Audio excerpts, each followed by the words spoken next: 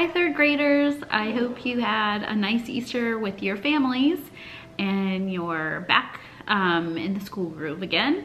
So um, today I'm gonna read Pompeii, Buried Alive to go along with our um, history lesson that we are learning. So I'm going to go ahead and get started and you can follow along as I read. Chapter 1 The Sleeping Giant. Once there was a town named Pompeii. Say Pompeii. Near the town there was a mountain named Vesuvius. Say Vesuvius. The people in Pompeii liked living by the mountain. It was a good place to grow grapes. It was a good place to raise sheep, and it looked so peaceful. But the mountain was really a dangerous volcano. It was like a sleeping giant. If the giant woke up, it could destroy the town. Did the people know about the danger? No, they did not. A volcano is a special kind of mountain. It has a hole at the top. One day, almost 2,000 years ago, something was happening under Vesuvius. Way down deep, it was very, very hot. It was so hot that rock was melting. As the rock melted, a gas was made. The gas was trying to escape. The gas and the melted rock were mixed together. The mixture was hot and bubbly. The gas was pushing the melted rock up through Vesuvius.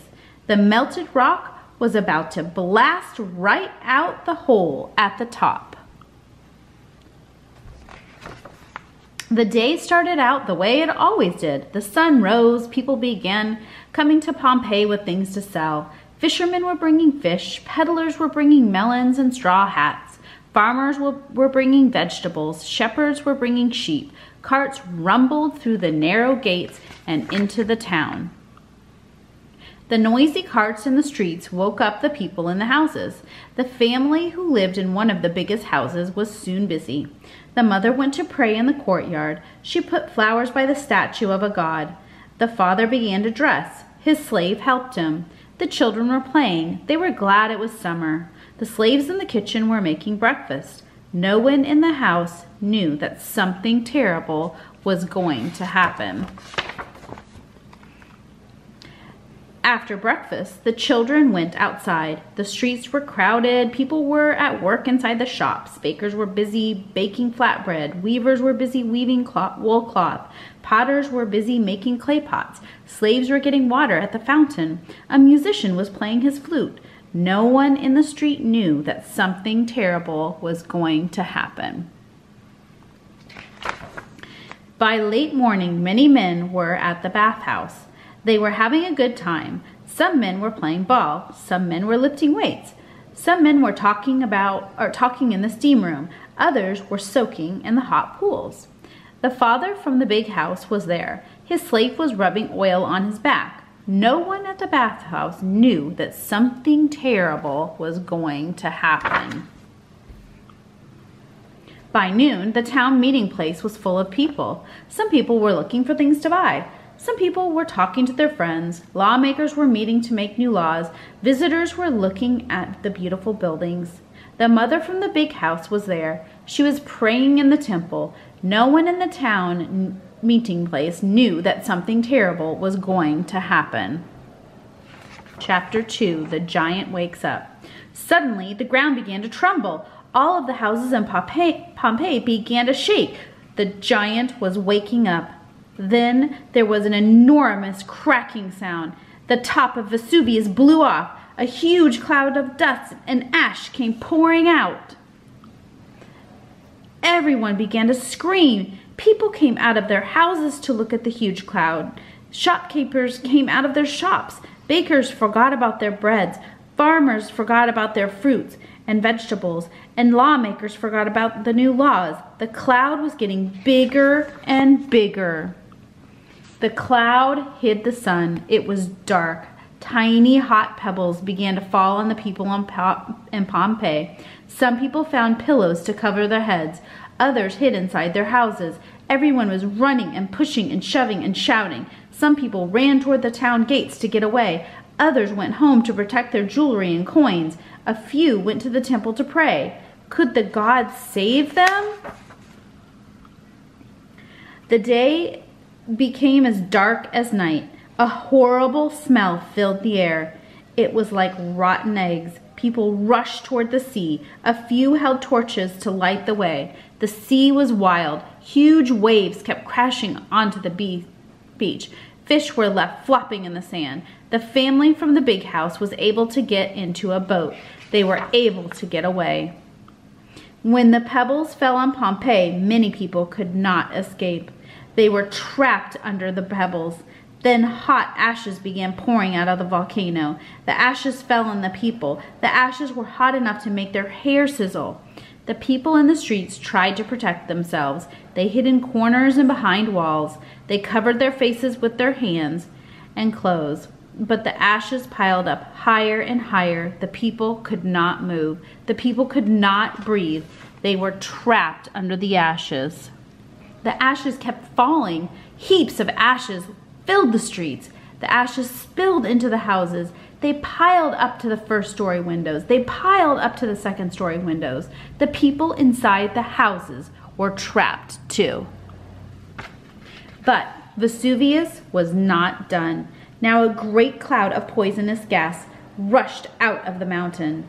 The cloud covered Pompeii. A great river of hot ashes and gases raced down the side of the mountain. The river flowed right over the walls of the town. No one in Pompeii was saved.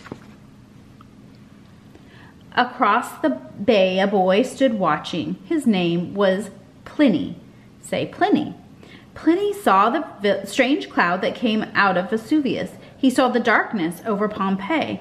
Later, he heard about the hot ashes and pebbles in the wild sea. Did Pliny ever forget that day? No, he did not. Chapter 3 Buried Alive. The ashes fell on Pompeii for two days. Then it was over. The huge cloud was gone. The mountain was quiet. The ashes cooled and became hard. Only the tops of the buildings showed above them. The whole town had been buried alive. Some of the people who had left in boats came back. They came to look for their houses. They came to look for their belongings. They came to look for their friends. But everything was sealed under the ashes.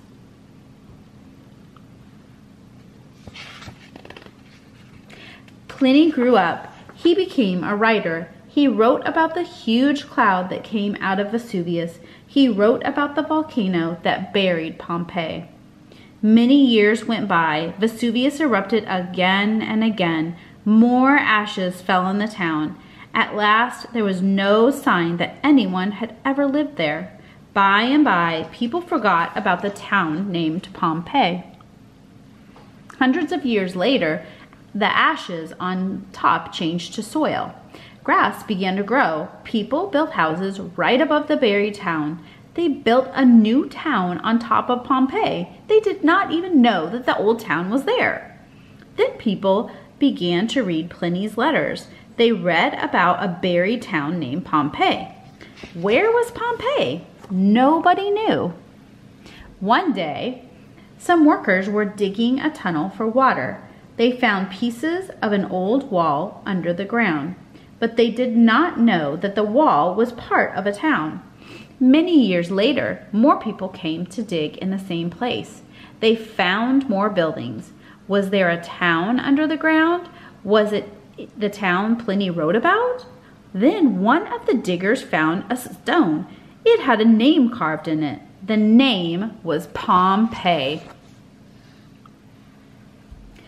People were excited. The lost town of Pompeii was right there, under their feet. If they could uncover it, they could see how people lived long ago. Scientists began digging. They worked slowly and carefully. They used many tools. They brushed away the ashes. They did not want to destroy anything. The scientists found beautiful gold bracelets. They found unbroken eggs. They found pictures made of colored stones. These pictures are called mosaics. Say mosaics. And they found the people who had died. At first, the scientists found only a few skeletons. Then They saw strange holes in the hard ashes. They poured plaster into the holes. When the plaster dried, the plaster casts were shaped just like people. The plaster cast showed how the people looked when they died. There was even a plaster cast of a dog on a chain. Today, the old town of Pompeii is like a great big museum without a roof. Pompeii is in Italy. People come from many lands to visit. They want to see the shops and houses of long ago. And they want to see Vesuvius too. It is the most famous volcano in the world. Scientists watch the volcano very carefully. How much gas is coming out of the ground? How hot are the rocks near the volcano? How much does the earth shake? Look, a farmer is taking care of his grapevines. They grow on the side of the mountain named Vesuvius. Nearby, a lizard is resting on a warm rock. It is a peaceful day in Pompeii. The giant is sleeping. When will the giant wake up, up again? Nobody knows. So this story will help you answer the questions on card 20 for card 28 in your history booklet. And also, this week for grammar, you're going to use the story of Pompeii to answer the questions who, what, when, and where, and why in your history booklet. And you'll be writing a rough draft for that. So save the volcano picture for your final draft and you're going to complete the five W's after watching the YouTube video and reading the history card. So, excited to see what you come up with. See you later. Bye.